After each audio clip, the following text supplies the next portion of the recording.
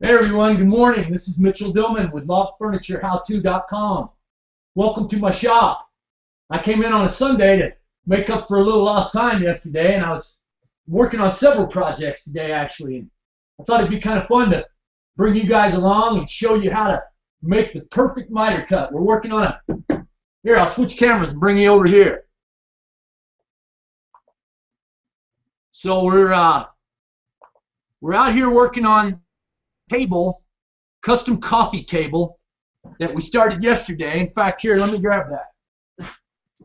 It's made out of a little burnt oak tree that was growing over there next to the lady's house in Parkside, and we put all this epoxy resin into it yesterday. Uh, haven't had a chance to sand it off this morning, but I was going to start in on making the steel base for this, which is going to require cutting some miter cuts. So thought it'd be a good time to sit here and talk about the miter cut. Give you the lowdown on all the angles. So, uh, what is a miter cut? Before we start talking about how to make the perfect miter cut, let's talk about what a miter cut is actually. Most common place you see a miter cut, you probably have one right there next to you in your house. If you look at the doorway or the door, look at the case molding around that door. And up at the top of that case, you'll see it make a corner like that. Like that. That is a 45 degree miter cut right there. Now that's the most common place you see them. You, you also see them in picture frames. Every picture frame has four corners which make the 45 miter cuts what's makes, making those corners. They're really used to hide the end grains in wood. So you make a turn and keep chasing that around. And most people think of a miter cut in terms of 45 degrees. In fact, let me get over here and we'll talk about different miter cuts. Because here's another example of miter cut. But this one is set up on a 36 degrees. So let me get over here and we'll show you some uh, talk about the the angles. I want to right here. Hey gang, got six live viewers. How are you all doing? Thanks for stopping in today. Um, soon enough, we're going to figure out how to chime in and let you all interact here. We're still learning all these buttons. There's so many different ways now to do these live events. We've got live events on YouTube, Hangouts, Helpouts, uh, so I'm still uh, experimenting to figure out how to best do this. Let's talk about these angles. When you're working with angles, you got several different tools. I'm going to turn this around so I can make sure I'm in the camera. Get all these tools out over here. Got a carpenter square. And obviously this is designed to be a perfect 90. I'm just going to go over these tools real quick. Carpenter square. This is what's known as a speed square. This is an angle finder that you can use in combination with your speed square to find angles. And this is what's known as an angle finder, a true angle. And it's actually We've got all the angles set up right here, so you can just adjust this to whatever angle you're working with, lock it in place, and it'll actually show you right there what the angle is. So that's a lot of talk about angles.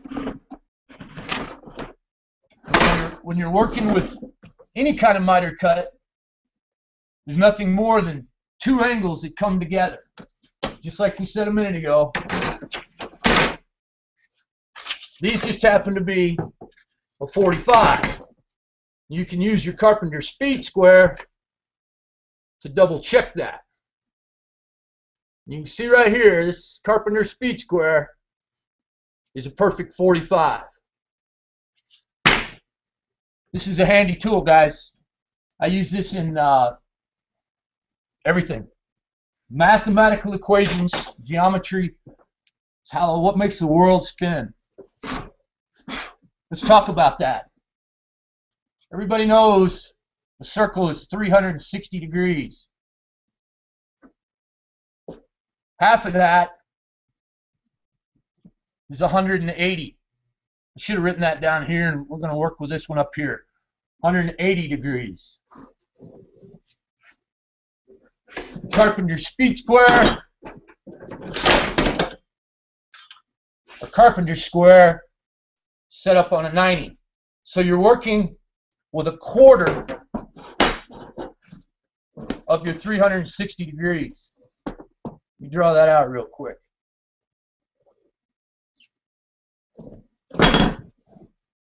So we know that that is 90 degrees.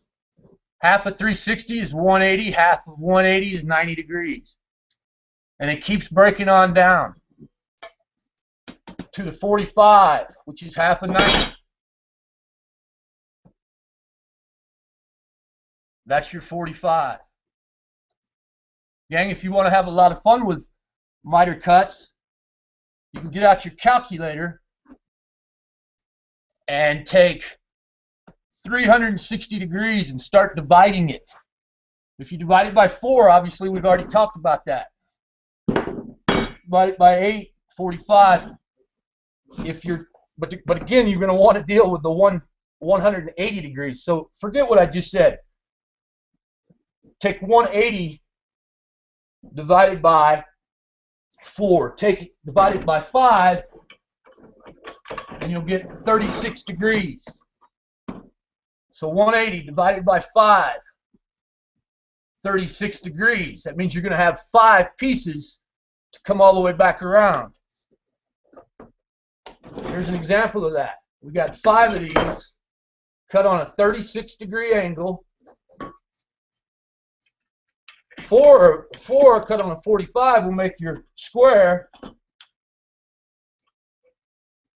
Five, your octagon. Six is going to be 30 degrees. So take 180 divided by 6.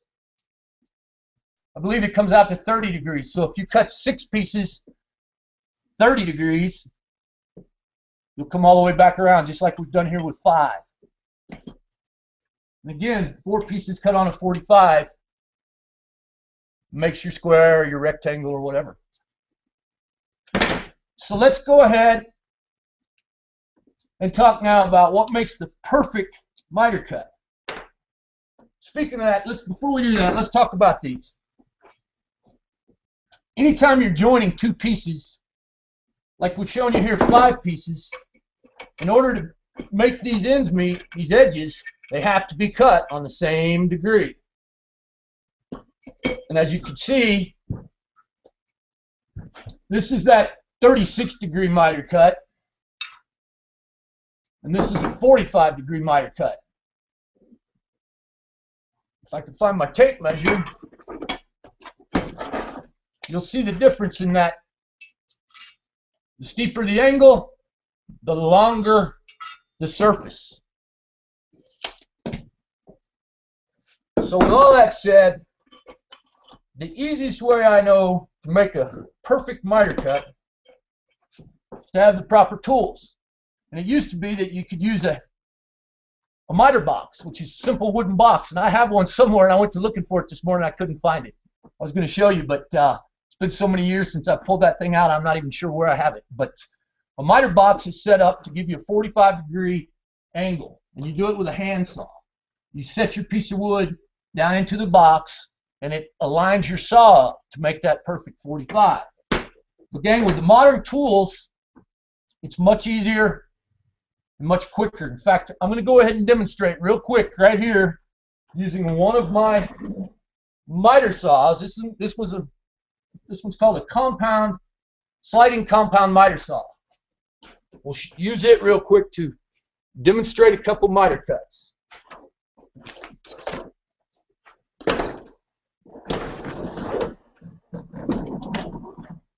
Now these saws have a gauge or a, it's the same thing we were just talking about with our degrees. It shows a, right down here, I know you can't really see it, but you have the ability to turn your saw relative to the fence to whatever angle you want. And this saw will track all the way around to a 55 actually on the right hand cut. Most saws will go up to about a 45, which is right there. This one you have the ability to go either direction. If I'm not careful, I'm going to knock some stuff off my table.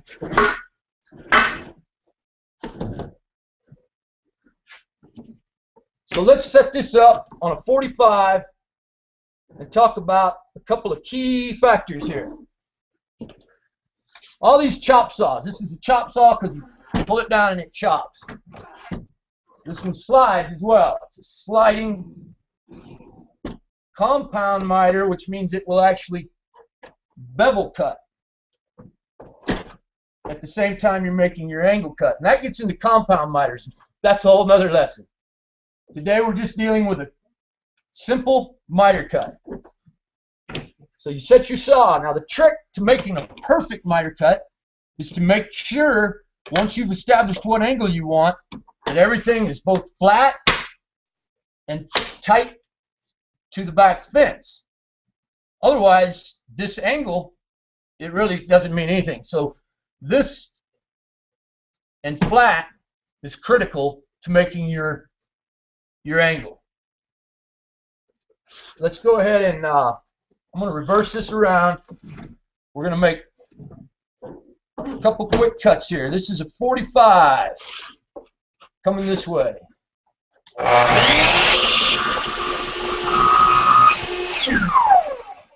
Now you see that's the opposite. To make it work that way, you have to roll it over. So we'll go the opposite direction to get the other the other miter. Now I'm going to take it right to that inside point.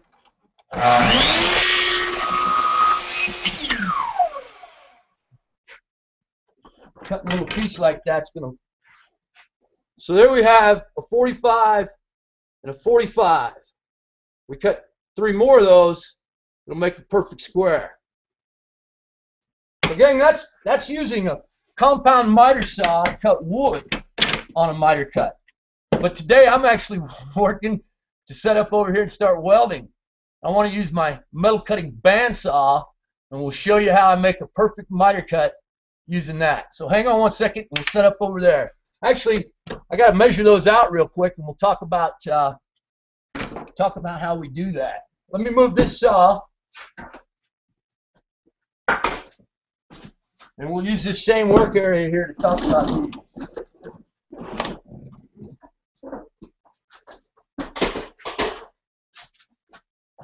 All right, so let me pull that tabletop back out. We've got a coffee table we're working on here. I've got specific dimensions that we're going to make this overall base. Once I've sanded this down, this come back Friday, by the way, and we'll be putting, this should be finished up. I'm going to be welding the legs this week, doing the finish on this top. And if everything goes well, we'll be putting it together this Friday in our live show. So uh, we already know what our dimensions are for this tabletop. We're going to want a table that's 44 inches long and 24 inches wide. And this piece of wood is actually a little narrower and a little, it will be a little shorter than that once we clean it up and cut the ends. But we're going to design and weld up a steel base. Now I've already started cutting some of these. I'm just going to lay them out on top of this.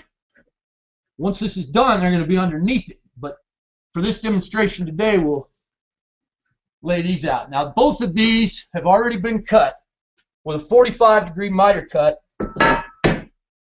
from long to long is our overall width. That's where we get our 24. 24 inches. So that represents the one end. We're long to long on both of these. And to make this work perfect, to make it work perfectly, a key element to this is making sure that all your pieces are cut identical, or your two opposing pieces. So there's our 24s. We're going to go 44 long. I've got one of those cut here, and we'll go ahead in a minute and cut the other one. Gang, this is basically going to be similar to a picture frame, just done out of this 1 by 3 steel. So we'll go ahead and lay out this last piece talk about how to make this perfect cut. One way on these 45s you can do it is, is it starts by making a nice mark. If you've got a nice mark to start with, you know you've got something to follow, and you can, even though your saw's got a gauge on it, just make sure that you can double check and make sure you're cutting that perfect 45. And this saw, I'm going to cut it this way. We'll mark this one. Now we know we want to go long to long, 44 inches. So I've marked that to where it's going to cut right off the edge. And then we'll pull our 44 inches. I already cut these down a little bit. By the way, we got to thank our friends at King Metals this is steel we're getting right from kingmetals.com. So any of this stuff, you guys can go to their catalog or go online and order your metal from kingmetals.com. So we're marking 44. Gang, we're going to jump back over there to the metal cutting bandsaw next. I'm going to switch cameras, and we'll meet you over there.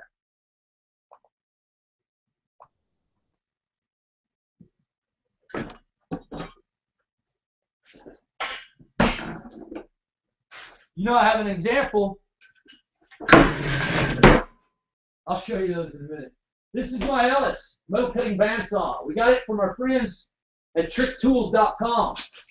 Be sure to go check out their website. They've got some of the best fabrication tools on the planet.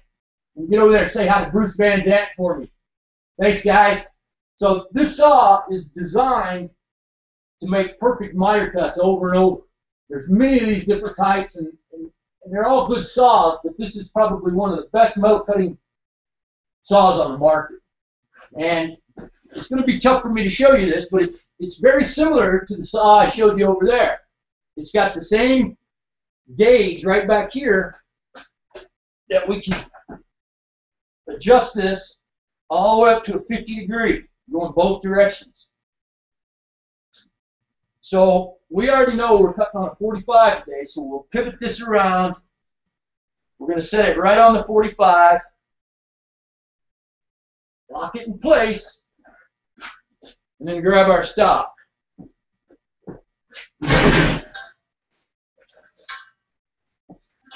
Now, we've already made a mark on here. So we're going to use it to just double check that we're, we're lined up perfect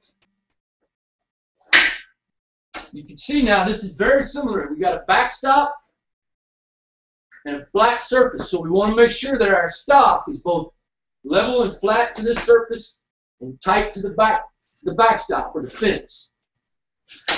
That's critical to making a perfect miter cut. Now I'm just eyeballing to make sure I'm lined up over my line. I'm going to lock it in place. And then it's a matter of setting it.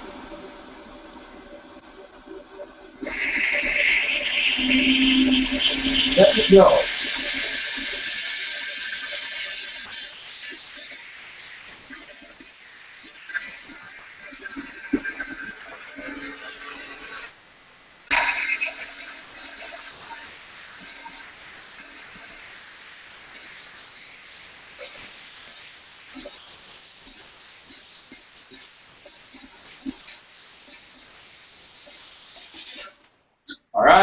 As easy as that. We'll raise that up. Here's our little 45 cutoff.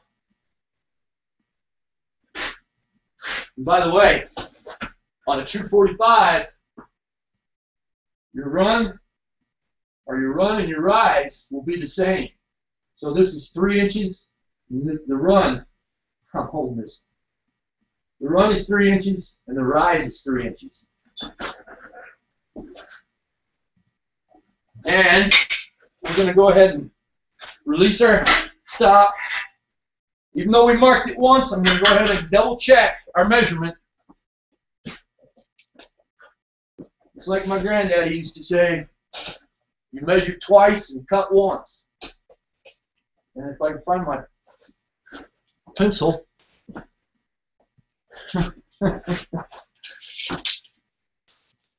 Forty-four inches to the long.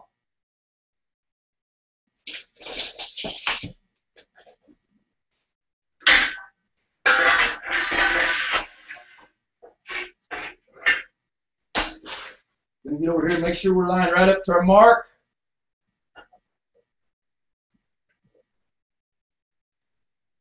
Peek over the top. Think on this top.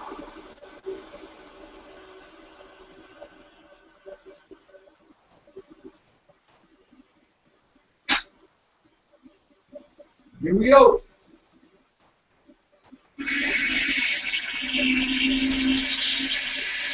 Here, check this out.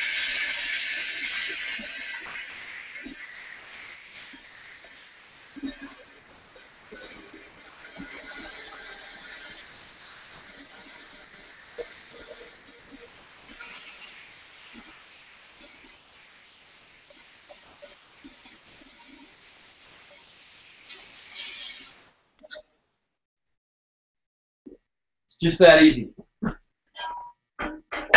Perfect 45 degree miter cut. So we'll take this piece we just cut. And I'll meet you back over there at the table and we'll line this up underneath that.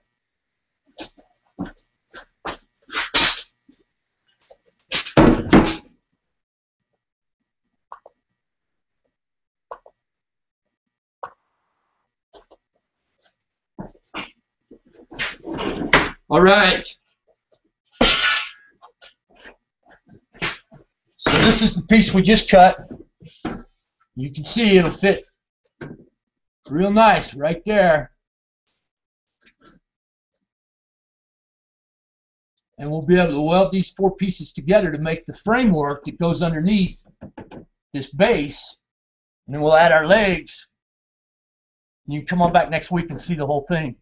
Real quick, before you go, before we call it a day, this is one of the sets of our legs, and you can see there's a lot of angles going on in here. Now, most of these are called compound miter cuts. That's where they uh, they run two directions. A flare, compound miter cut, compound miter cuts. But right here is another example of a regular miter cut. You can see flat angle. That's a miter cut right there. So they're really all over. You can use uh, miter cuts to join anything. I, I sure appreciate you all taking time this morning to join me. Let me see if we got any questions. I got 16 viewers. This is pretty cool. Thanks, guys, for joining me this morning. I know you probably got a lot of better things to do, but uh, hopefully this has been somewhat uh, educational. If you've got any questions at all, be sure to email me, Mitchell at logfurniturehowto.com. Uh, come see us next Friday. We'll be putting this table together live for you. Shoot me any questions you've got. We really want to see what projects you're working on. I'm even even looking to feature your work on our weekly show. So shoot me an email or even give me a call.